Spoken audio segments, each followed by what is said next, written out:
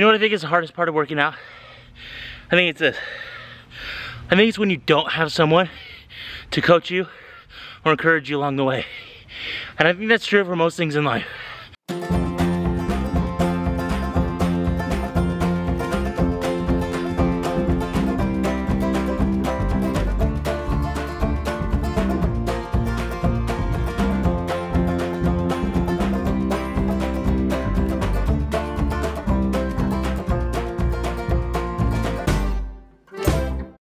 Good morning, everybody. I hope you are all doing so well. We are so excited that you guys have just been on this journey with us. You know, one of those things that we've been talking about a lot lately is our desire to kind of get fit this year, our desire to um, make some big changes in our lives that I think are gonna better us for the long term when it comes to being a family, um, being a dad, being a healthy father, being a healthy husband.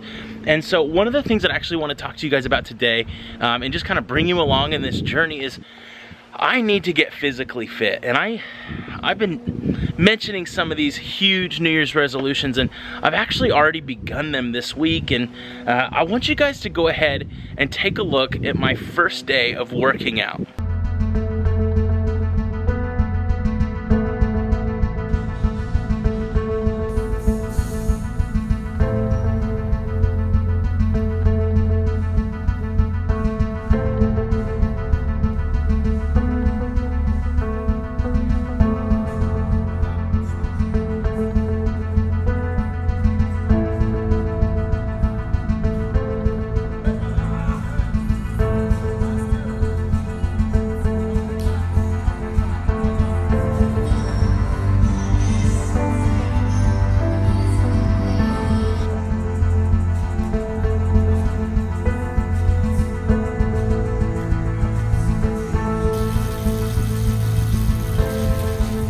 You guys.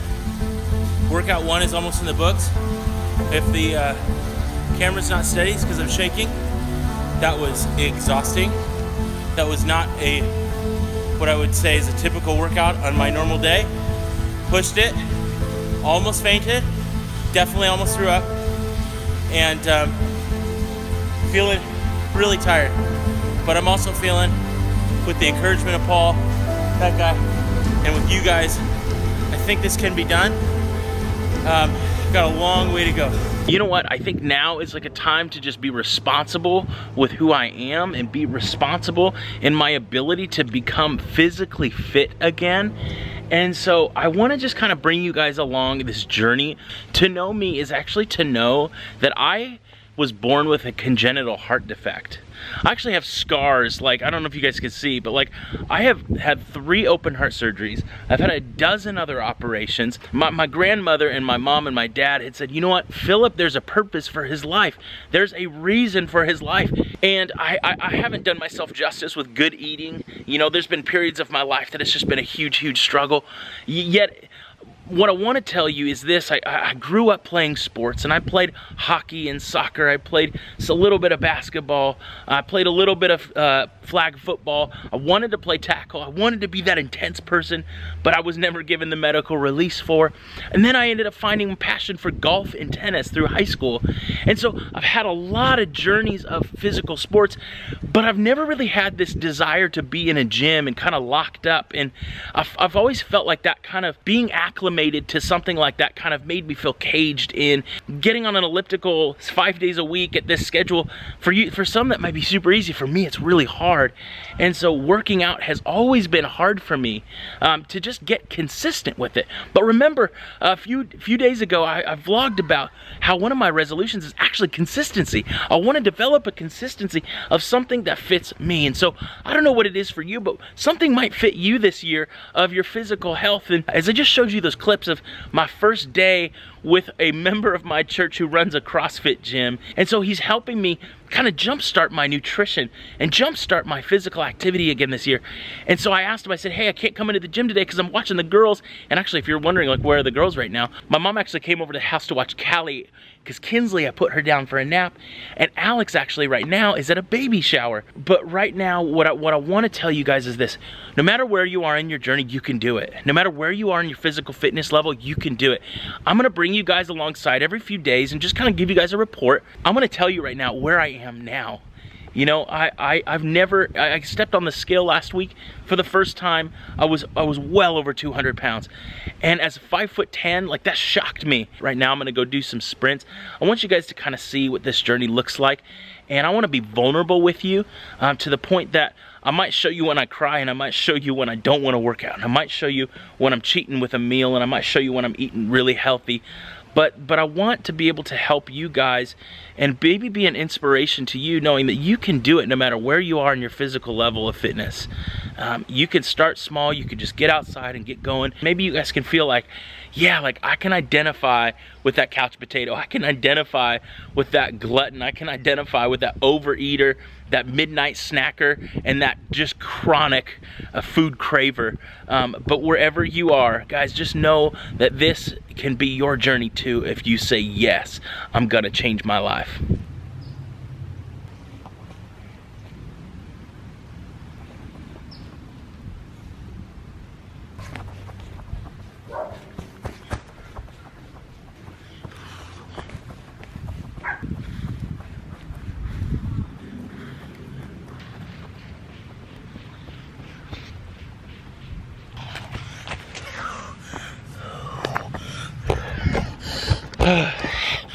you guys, I'm sucking wind. I'm really out of shape, but I'm really proud of myself for doing it. Whew. Yeah, it's really, really, really hard. You know what I think is the hardest part of working out? I think it's this. I think it's when you don't have someone to coach you or encourage you along the way. And I think that's true for most things in life. So right now, I don't have one kicking me in the butt. And I need it. And I think that's why people join gyms. And I think that's why people get personal trainers. Because having accountability and things that you hate, for me, like working out, makes all the difference in the world. To be honest, you guys are my accountability. You guys are the ones that are gonna push me, maybe even push each other to keep on going, to get healthier this year in a physical sense and a lot of other ways too. But I'm gonna keep pushing, I'm gonna keep running. My goal is 25 more sprints that are about 25 yards, and I'm gonna keep on doing it. And then I'm gonna rest, and I'm gonna eat healthy today. I already had healthy food today. It was great. I made a protein shake with fruit and veggies. Whew, that was tiring. I um, I did 25, 25 yard sprints, as you saw. Probably some horrible form, but I'm gonna get there. And I'm gonna go take a rest, get some water. And then later tonight, I'm hopefully gonna go on a walk with Alex and the kiddos. My gosh, small workouts, small results. One day big results with big workouts. Ah, I can do this, and I know you can do it too. Whew, gonna go get some water. Hello. Did you poopy? Yeah. Yeah. Blanky, good job. Callie, Callie, you hear Callie? Eat. Are you hungry? You're hungry? Okay, let's get some food. Let's change you first because you said you poopied. You see Mimi? Hi, Callie. Hi, sweet thing. Love Mimi. Me. They love you so much, Mom. Up. Up. well, we have to change your poopies first. First. I first. Can we change you first? Let's change you. Okay, I'm gonna put this diaper on you, okay? Okay. Hi. Hi, Callie. Yeah, she's What'd she spitting up. do? He's spitting up a What'd little bit, say? huh? We try to clean up the house as much as we can because mom is on her way home. And guess what? Who called? Mom herself. So Kinsley, Kinsley, you talking to mommy? Mommy. Mommy. Hi. Hi. Hi. It's so fun. So you guys, it's been a been a crazy fun day. Um, more to come on my story. That's not a stuffed animal. That's Callie. That's Callie. She's sleepy, huh? Is Callie sleepy? Sleepy. Did you hang up on mommy? Did you hang up on her? Yeah, you hung up on mommy. Are you ready for mommy to come home? Home. Home. It's been a, been a nice relaxing day, just listening to some music, calm around the house, not watching much TV at all, but really just trying to uh, enjoy the Saturday with the girls before mommy gets home, but she's gonna get home any minute. Ready? She's gonna walk through the door right now. Who's home? Who is that? Who is that? Up. Up. Up. Hi.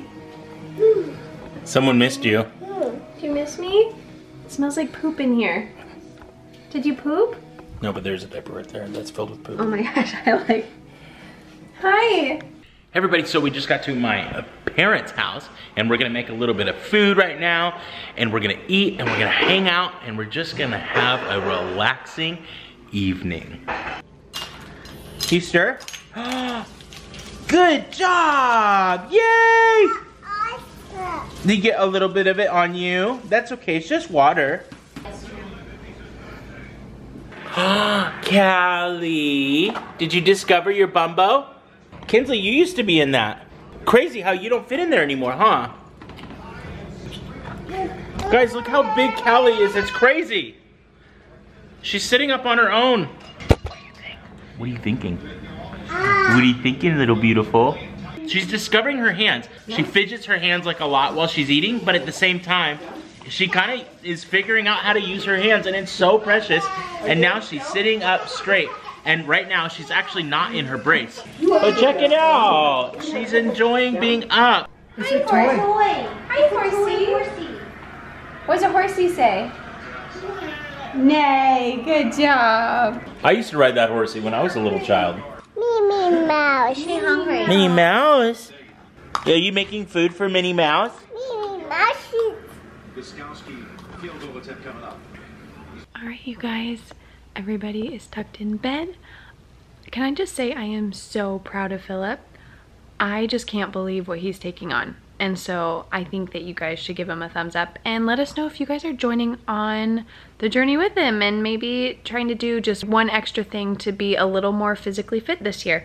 So anyways, thank you guys so much for watching. We're really thankful for you guys and you guys go let your love multiply this year. See you in our next video. Bye.